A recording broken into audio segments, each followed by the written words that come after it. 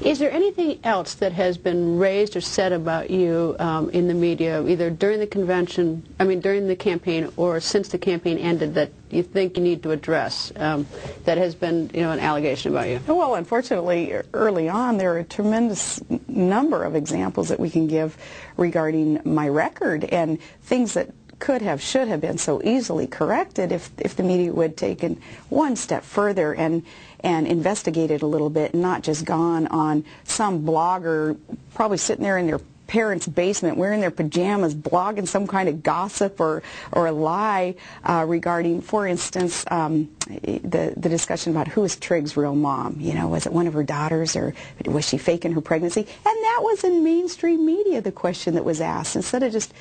coming to me and, and, and uh, you know, setting the record straight. And then when we tried to correct that, that, yeah, truly I am Trig's mother, uh, for it to take days for it ever to have been corrected, that, that kind of right out of the chute was one of the oddities of, of, this campaign and the messaging. And then two things that, again, so easily could have been corrected about uh, my uh, supposed attempts to censor and ban books when I was the mayor of Wasilla, and one of the examples that they gave was uh, that media was just sure that one of the books I tried to ban was Harry Potter. Of course, it hadn't even been written when I was the mayor of Wasilla. So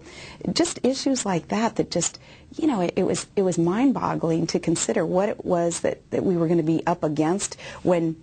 you could see that something was written about, something was stated in the media. I knew the truth, and, and I had the record to prove otherwise, and uh, yet it would either take too long to, to unring that bell that had just been rung, or there was no attempt at all to correct the record. That was pretty frustrating.